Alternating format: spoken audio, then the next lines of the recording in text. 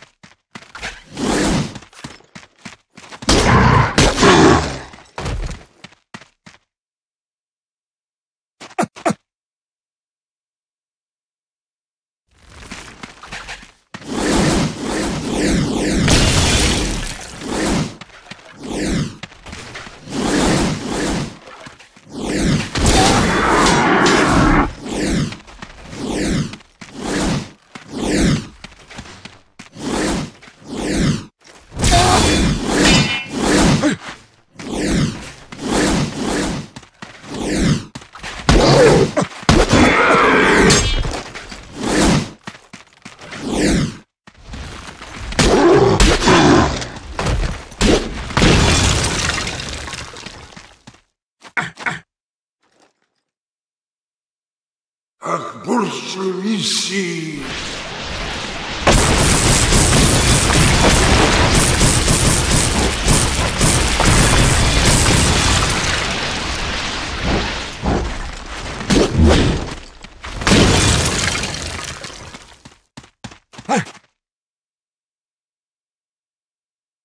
Even the possessed must fall!